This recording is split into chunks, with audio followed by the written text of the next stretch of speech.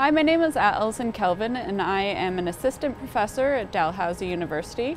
I'm also a scientist at the Canadian Centre for Vaccinology and I'm here at VIDO Intervac where I've been seconded to work on COVID-19 and COVID-19 solutions. I immediately was interested in the SARS-CoV-2 virus when it was first announced at the end of December in 2019. I received an email saying that there was an outbreak of atypical pneumonia in Wuhan, China. At the time, the virus was unknown, but it was most likely thought to be either a coronavirus or an influenza virus. And the first days in January, I immediately contacted VIDO Intervac because I was interested in getting studies up and running to understand the pathogenesis of this virus. So why is this virus making people sick and hospitalized and possibly leading to death?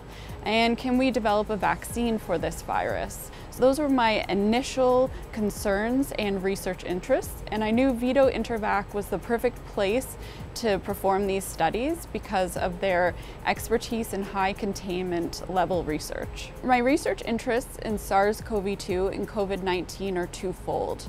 The first, I'm very interested in understanding why this virus makes people sick and why does it lead to hospitalization and death in certain people.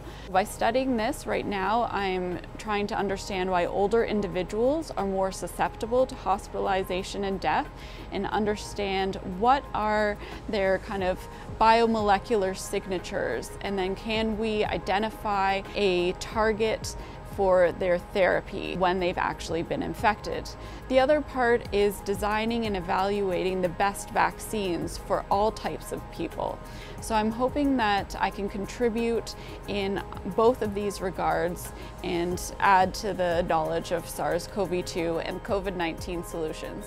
I'm really grateful that VIDO Intervac has given us a home to do our research right now, and that's not only given me a place to work on SARS-CoV-2 and COVID-19, but it's given a training opportunity to the future generation of scientists, including my graduate student, Maggie Francis.